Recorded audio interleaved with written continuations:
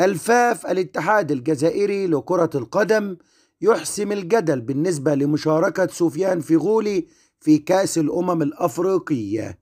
السلام عليكم ورحمة الله وبركاته متابعينا الكرام أهلا بكم. ألفاف تحسم الجدل حول مشاركة فيغولي في كأس إفريقيا. أكد صالح باي عبود رئيس خلية الإعلام التابعة للفاف أن لاعب المنتخب الجزائري سفيان فيغولي سيكون جاهزا للمشاركة في الكان. وقال صالح باي عبود في تصريحات لقناة النهار سفيان فيغولي سيكون جاهزا للمشاركة في كأس أمم إفريقيا.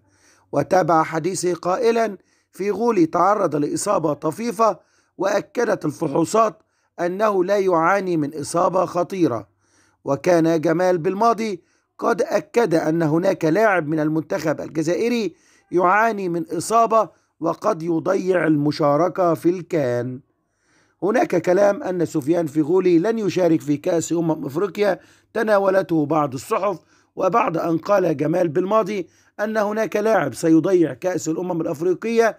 اتضح أن سفيان فيغولي كان يعاني من إصابة ولكن أكد صالح باي عبود رئيس خلية الإعلام التابعة للفاف أن سفيان فيغولي إصابته خفيفة وسيشارك بإذن الله في كأس الأمم الأفريقية. في آخر الفيديو فضلا like للفيديو واشتراك في القناة والسلام عليكم ورحمة الله وبركاته.